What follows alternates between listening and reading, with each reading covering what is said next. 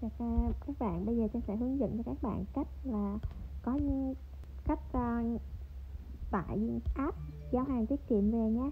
Thì mình vào App Store Trang đang xài điện thoại iPhone nên Trang sẽ xài App Store. Mình chỉ gỡ, gỡ gõ giao hàng tiết kiệm với tắt cũng được nha. Là nó sẽ ra một cái app như thế này. Thì bạn chỉ cần chọn cái app này là giao hàng tiết kiệm.vn này cho Trang này thì các bạn vào thôi. Thì Trang đã tải sẵn rồi đây chính là cái app giao hàng tiết kiệm đây. Đó thì đó, khi mà bạn bạn tải về những bạn nào mà tải cái tài khoản mới thì nó sẽ bắt bạn đăng ký.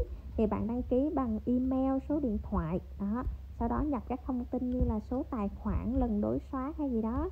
À, số tài khoản mình chuyển vào email tên công ty số điện thoại liên hệ. Và sau đó là địa chỉ của mình. Sau đó là các bạn chỉ cần á, là mỗi lần mà các bạn muốn muốn viết một cái đơn hàng nào các bạn vào chữ tạo đơn sau đó nhập số điện thoại tên khách hàng khu vực địa chỉ. Rồi à, lúc đó nó sẽ hiện ra rồi mình sẽ có thêm cái mục thu hộ thì mình ghi là mỹ phẩm hay skin hoặc là son thì mình sẽ ghi ở đây số ký. Rồi hình thức giao thì nó sẽ có đường bộ ở ngoài bắc thì mình sẽ có thêm cái đường bay. Nhưng mà bây giờ thì chỉ chọn đường bộ thôi nha đường bay là nó sẽ không có duyệt rồi sau đó số tiền mình cần thu hộ là nó sẽ thu hộ về cho mình. Rồi tới ngày các bạn đăng ký thì nó sẽ chuyển tiền vào tài khoản của mình.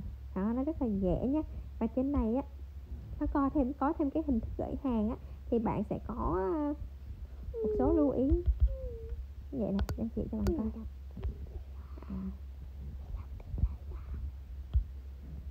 À.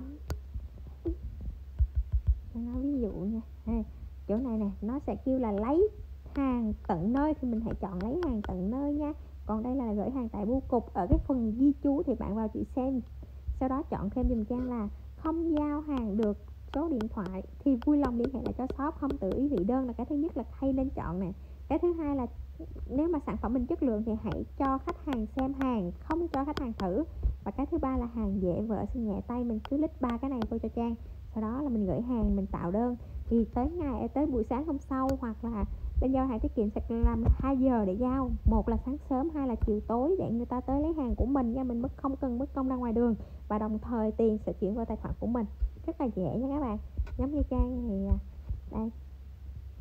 Trang à, từ ngày 13 13 tháng 3 cho tới 14 12 tháng 4 thì trang à, đó nó đã chuyển khoản cho trang được 128 triệu rồi nè. Đó, các bạn nhớ nhé.